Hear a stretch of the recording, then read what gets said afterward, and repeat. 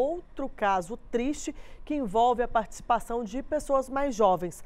Na cidade de Ipaba, no Vale do Aço, um adolescente de 16 anos morreu e outro de 14 foi baleado após disparos de arma de fogo durante uma partida de futebol. O crime aconteceu do lado de fora do estádio.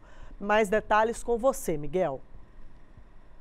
Camila, a Polícia Militar informou que quatro adolescentes chegaram de bicicleta e um deles atirou contra o menor de 16 anos, identificado como Suetan Rodrigues Cunha. Portanto, com, portanto, ao ser atingido, ele correu para dentro do campo, acabou sendo socorrido para um hospital de Ipatinga, mas morreu durante atendimento.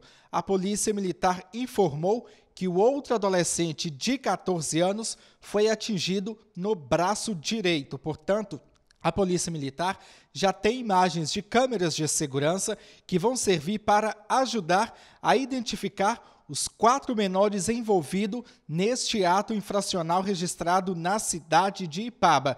A PM apurou que a vítima que morreu, o rapaz que morreu, teria uma rixa com um dos suspeitos. Portanto, as investigações, os trabalhos ainda continuam, Camila.